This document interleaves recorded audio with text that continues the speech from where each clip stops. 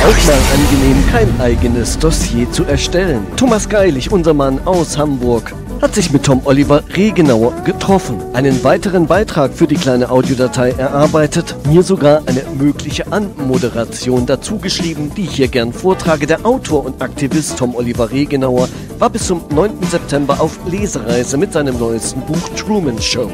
Darin beleuchtet Regenauer die Herausforderungen und Widersprüche unserer Zeit, hinterfragt gesellschaftliche Normen und regt zu einem kritischen Blick auf unsere Realität an. Wir schickten unseren Reporter Thomas Geilig zum Hamburger Veranstaltungsort der Lesereise. Er führte dort vor Ort mit Tom Oliver Regenauer ein Interview und sammelte Eindrücke und Stimmen. Jetzt soll ein Jingle kommen. Europe Alternative Music. Jetzt der Beitrag. Anfang 2024 erschien von dir das Buch Truman Show, Texte zur Zeitenwende, Technokratie und Kooperatismus. Zu den Inhalten des Buches tourst du gerade durch Deutschland, Österreich und deiner Wahlheimat Schweiz. Gestartet ist die Tour am 22. August. Welche Eindrücke hast du bis jetzt von der Tour? Grandios, äh, sehr viele nette, normale Menschen vor allem und äh, deutlich mehr Besucher als ich dachte, weil als Autor weiß man immer nicht so genau, was äh, die Texte in der realen Welt anrichten, wenn man zu Hause am Schreibtisch sitzt und irgendwas formuliert. Und ja, ich dachte, da kommen so 50, 60 Leute vielleicht pro Event.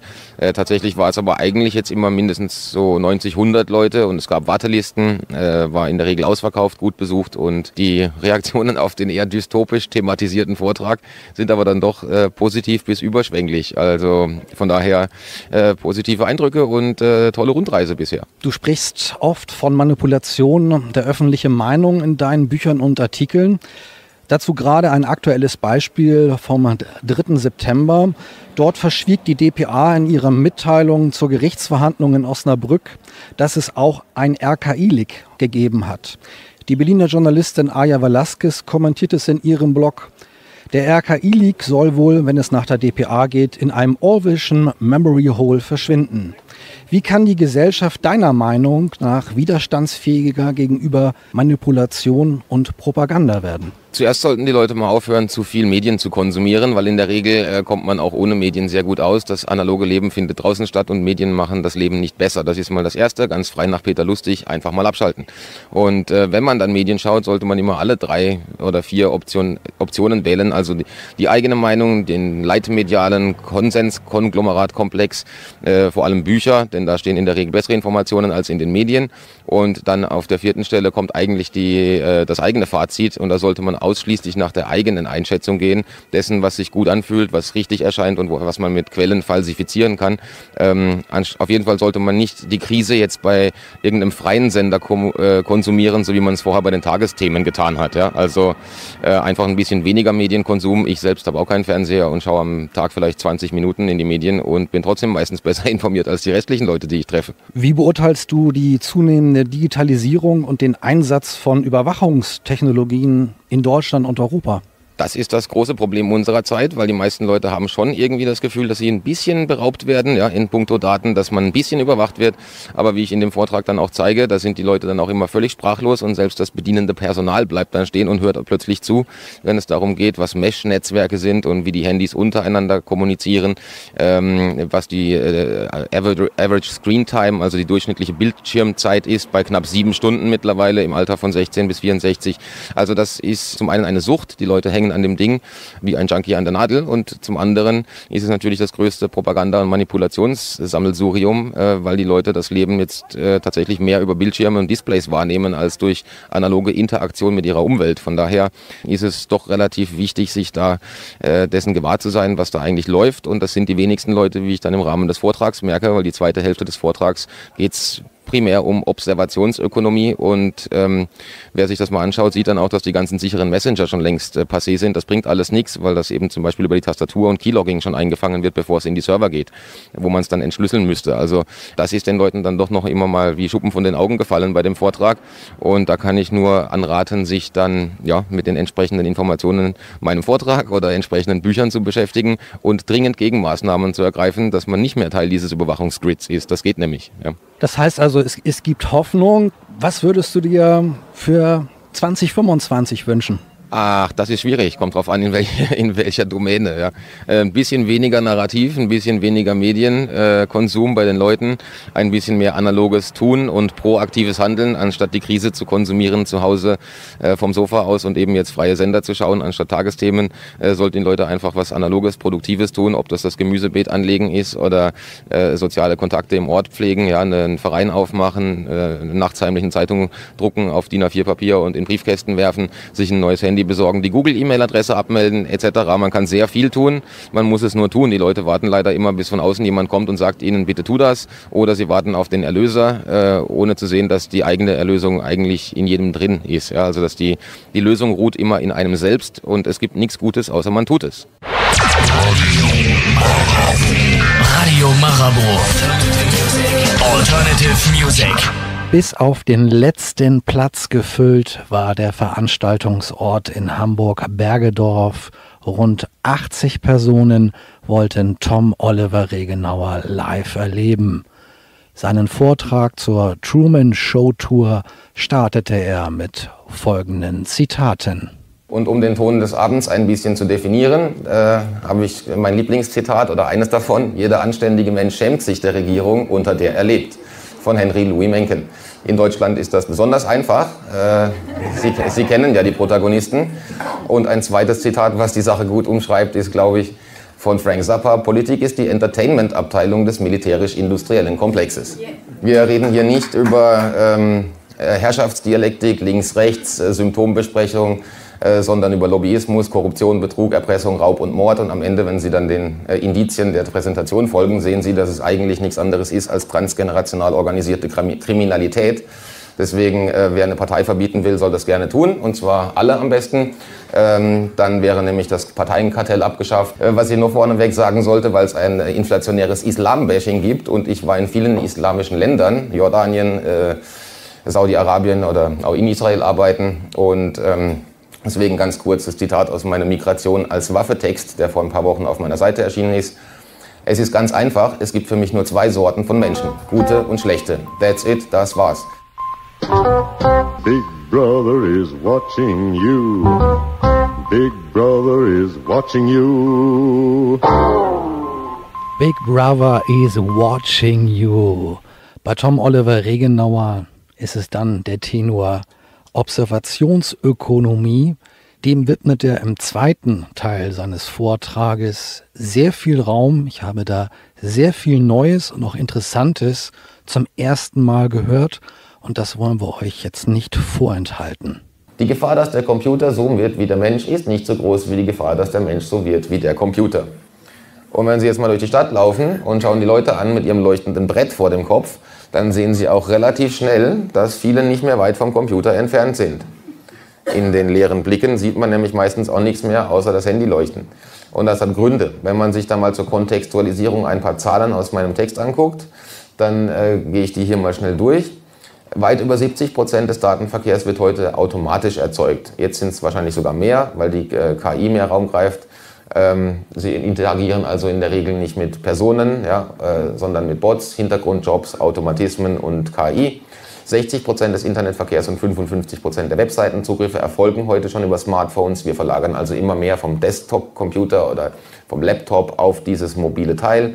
98 Prozent dieser Geräte laufen auf Android oder iOS, also Google oder Apple Betriebssystem. Praktisch alle.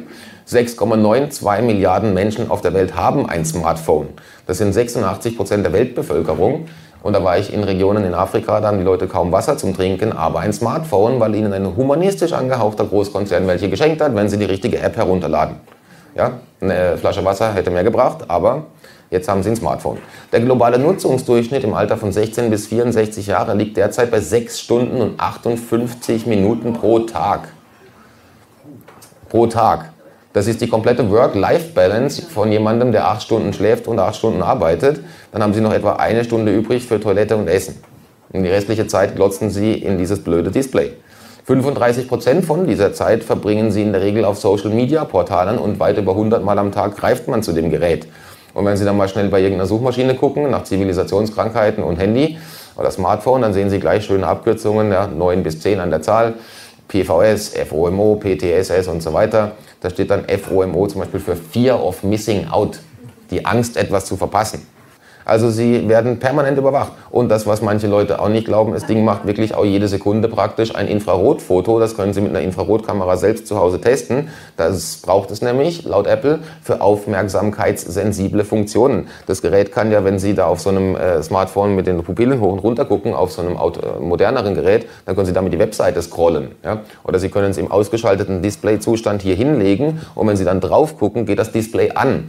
Das ist eine aufmerksamkeitssensible Funktion. Funktion und das geht nur deswegen, weil die Kamera permanent aktiv ist und man es permanent Infrarotbilder macht, hinten und vorne. Das können Sie auch nicht abschalten, deswegen überwacht sie das Gerät 24 Stunden permanent. Sie können nichts dagegen tun, alles wird aufgezeichnet und landet in sogenannten Textfiles. Die haben nämlich wenig Daten, also Volumen. Richtig schlimm wird es dann bei Bluetooth und zwar bei Bluetooth Low Energy. Das ist nicht das Bluetooth, was Sie da ausschalten können. Das ist das Bluetooth, was im Hintergrund läuft und was Sie nicht ausschalten können. Das ist nämlich die Datengrundlage für das Contact Tracing, zum Beispiel in der EU und der Covid-Warn-App, die es hier gab in Deutschland. Die liest nämlich diese BLE-Schnittstelle aus. Was das iPhone macht, ist nämlich, und das Android auch, Sie laufen durch die Stadt und das Gerät erkennt jedes andere iPhone und kommuniziert mit ihm.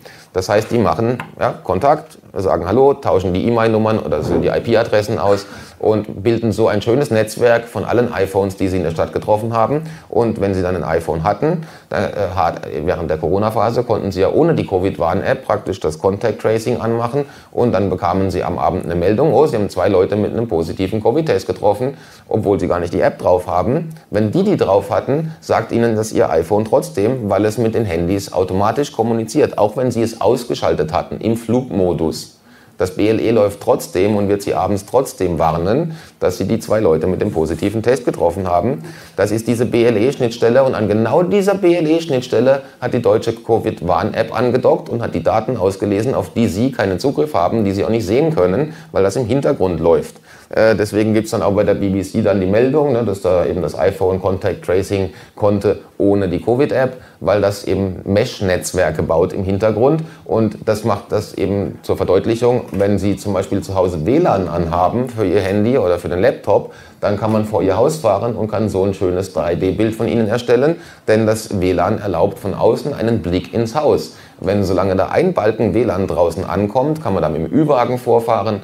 Also ist nicht der Übertragungswagen, sondern der Überwachungswagen. Da hat man dann so ein Laptop und eine ganz kleine Antenne. Und dann kann man, wenn man ihr WLAN-Signal geortet hat, einfach alle biologischen ähm, Organismen im Haus in 3D darstellen. Sie, Ihren Hund und äh, mittlerweile auch Ihre Pflanzen und andere Objekte, das geht jetzt auch in Farbe. Das heißt, äh, man braucht gar nicht mehr bei Ihnen einbrechen und eine Kamera installieren, um Sie zu überwachen. Man kann einfach von außen am Haus gucken, wenn Sie das WLAN anhaben. Und wenn Sie denken, Ihr Handy überwacht Sie über den Funkmast des Telekom-Netzes oder so, ist das auch falsch wo, wo sie mittlerweile überwacht werden, ist, was viel engmaschiger und genauer ist, wenn sie durch die Stadt laufen, werden sie von jedem WLAN-Netz angepinkt. Wenn sie das Ding mal anmachen und suchen mal nach WLAN-Netzen, finden sie in jeder Stadt permanent irgendwelche 5 bis 500 Netze und da meldet sich ihr Handy jedes Mal, sagt Hallo, speichert die Daten und so haben sie eine schöne Route durch die Stadt kartografiert und das ist dann das sogenannte Mesh-Netzwerk. Da sind sie dann unten so, so ein Schema, da ist dann jedes ihrer Handys eine Node, ja, ein, so ein Knotenpunkt im System und unterhält sich mit den anderen Systemen. Und da gab es vor einer Weile diese etwas reißerische Headline, Skynet, ja, das kennen manche aus Terminator, die Macht der Maschinen, wenn die untereinander kommunizieren und den Menschen unterdrücken. Ähm, und das ist tatsächlich bedenklich, weil das, was ich gerade erklärt habe, ging bisher nur im Ökosystem von Apple. Also das konnten eigentlich nur iPhones miteinander tun. Ähm, technisch ging es schon lange, dass es beide konnten, aber es war nicht eingeschaltet.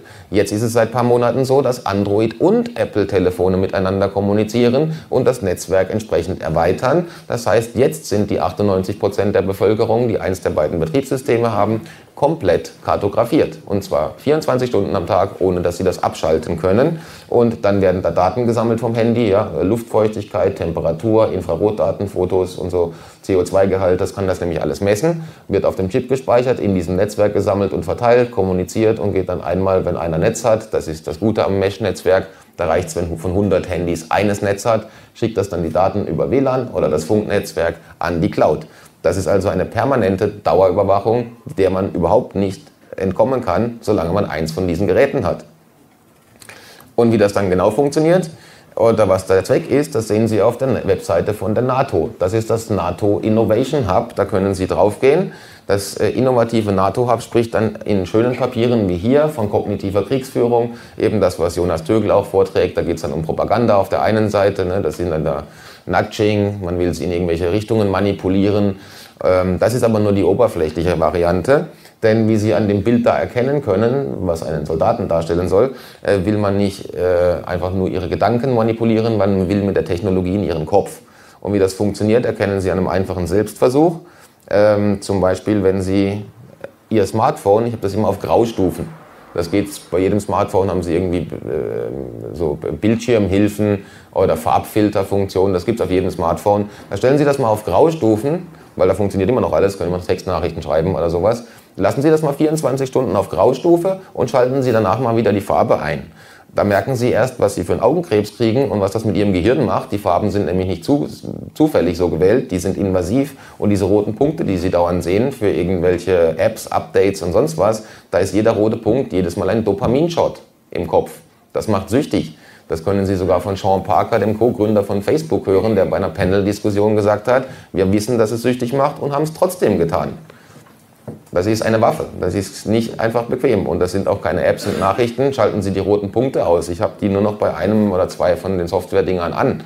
Äh, und dann versuchen Sie das mal mit den Graustufen im Selbstversuch und machen das mal 24, 48 Stunden. Ich habe das schon vielen Leuten erzählt und ich habe keinen getroffen, der das wieder auf Farbe benutzt. Das ist ein gravierender Unterschied. Sie werden es merken. Und über so Zeug schreiben die dann bei der NATO lange Papiere. Ne? Das ist dann von der Konferenz im Herbst 2020. Da hat man dann über kognitive Kriegsführung und kognitive Dominanz gesprochen. Das ist irgendwie so ein 120 Seiten Dokument. Da können Sie dann nachlesen, was die so alles tun und wie man in Ihr Gehirn will mit eben solchen Technologien, Dopaminshots, Manipulation, Farbwahl, ja, äh, psychischen Stress auslösen, sowas wie das Post-Text-Stress-Syndrom. Äh, man macht sie krank und das ist Teil der Agenda.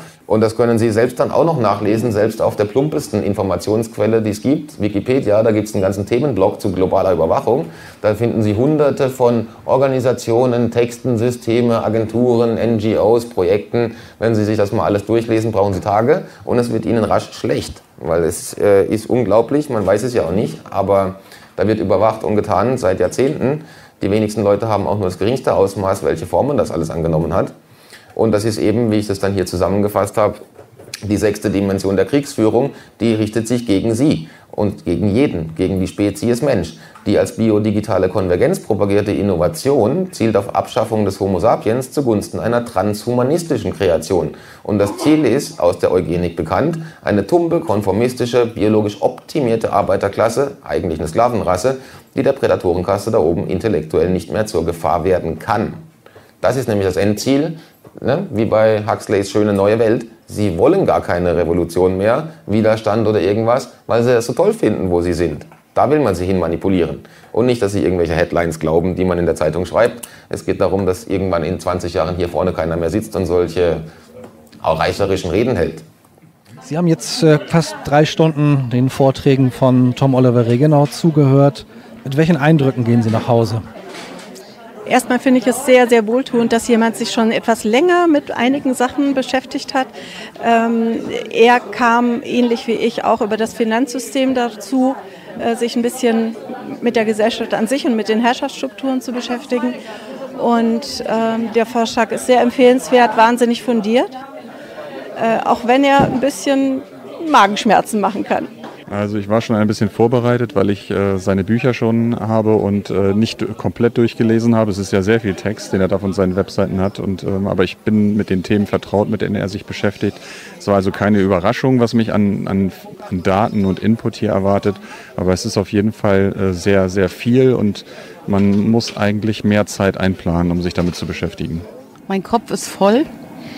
Ich muss alles überdenken. Und ich hätte nicht gedacht, dass wir so weit drin sind. Schon drin sind in dieser KI-gesteuerten Welt. Und die geschichtlichen Hintergründe hätte ich mir auch nicht so vorstellen können. Ja, im Wesentlichen sind es zwei Eindrücke. Der eine Eindruck ist, dass ich fast ein Übermaß an einzelnen historischen Fakten äh, präsentiert bekommen habe, deren Zusammenhang oder Kausalität ich noch nicht äh, so richtig erfassen kann. Das muss ich setzen. Da werde ich mit Ökonomen, mit anderen nochmal sprechen müssen. Äh, das Zweite ist, was, mir ein wenig, ähm, was mich ein wenig erschreckt, ist die Frage, wo bleibt die Handlungsoption für den einzelnen Bürger? Das heißt, wo muss er anpacken, wenn aber weltweit äh, so die Fäden gezogen werden sollten?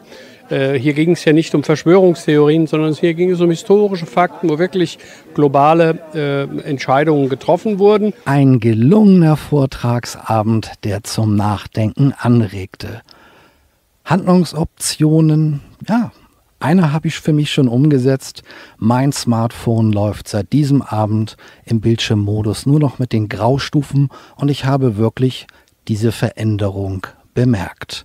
Und mein nächstes Smartphone wird sicherlich nicht von den altbekannten Herstellern sein. Auch dort gibt es Alternativen.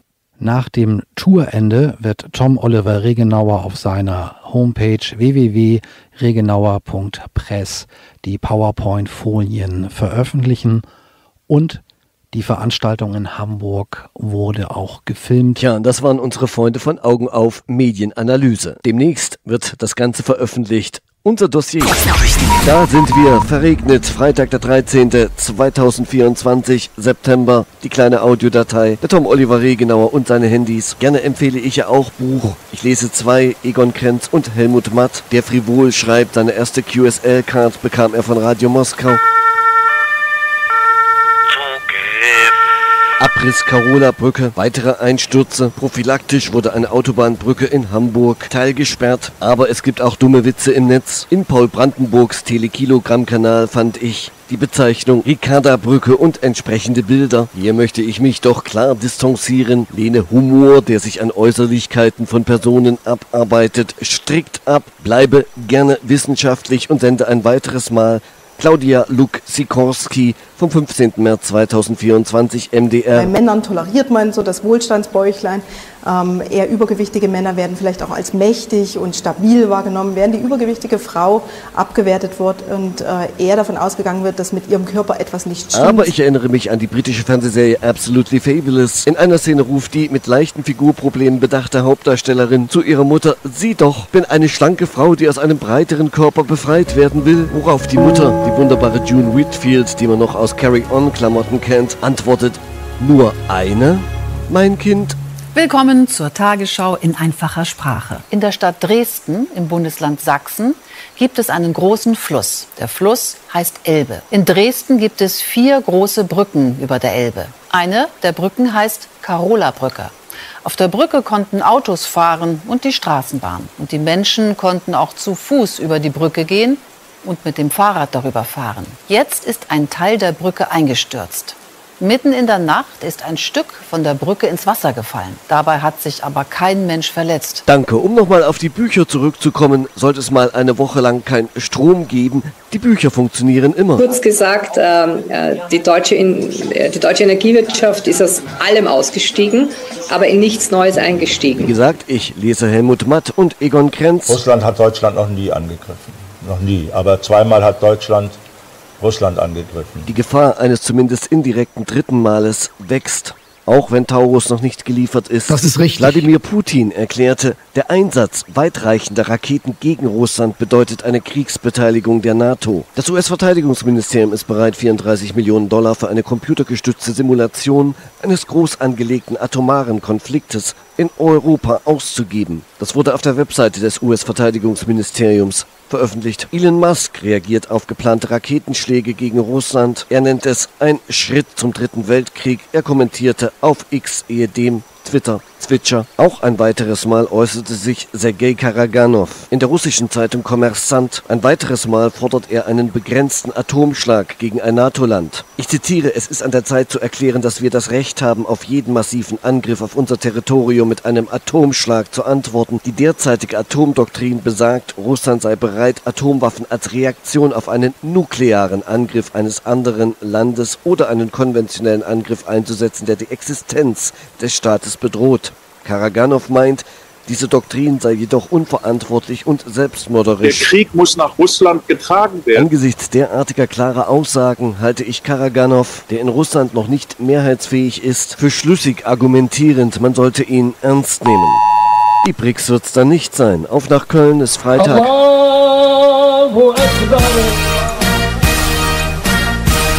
Nicht nochmal in die Bütt will Donald Trump. In den USA diskutiert man Kopfhörer von Kamala Harris. Armenien bietet Aserbaidschan ein Friedensabkommen an. Und im Senegal wurde das Parlament aufgelöst. Wolken, Regen, Wind, Sturm, kalt in den Bergen, Schnee. In der nächsten Woche bleibt es unbeständig, wird aber etwas milder. Marabou. Alternative Music.